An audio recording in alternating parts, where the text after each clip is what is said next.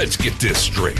We're debating between a big spending, debt ceiling raising fiscal liberal, a moon colony guy, a moderate from Massachusetts, or a Texan with a real plan to balance the budget. Get with it, people. Only one candidate will stand up for Texas. Ron Paul isn't playing games. Five federal bureaucracies gone. A trillion dollars cut year one. Get Washington off your back. Ron Paul.